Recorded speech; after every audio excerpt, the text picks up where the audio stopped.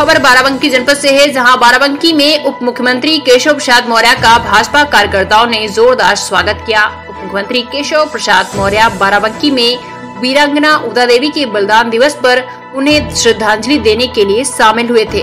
बाराबंकी में उप मुख्यमंत्री केशव प्रसाद मौर्य ने जनपद की एक सड़क को वीरांगना उदा देवी के नाम पर करने की घोषणा की। उप मुख्यमंत्री ने कहा, यह नामकरण भारत की आज़ादी के लिए किए गए उनके कार्यों के प्रति सच्ची श्रद्धांजलि है। बाराबंकी जनपद से राघवेंद्र मिश्रा की रिपोर्ट।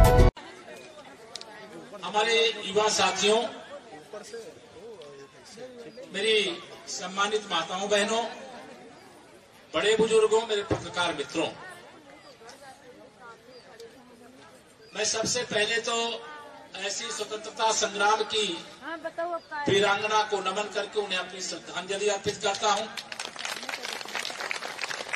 यहाँ के जनप्रतिनिधि प्रियंका जी आप भी देख लीजिए आप सब लोगों के साथ बैठ करके तय कर लीजिए। हम बाराबंकी ज़िले का एक मार्ग का नाम वीरांगना उदा देवी के नाम से रखेंगे।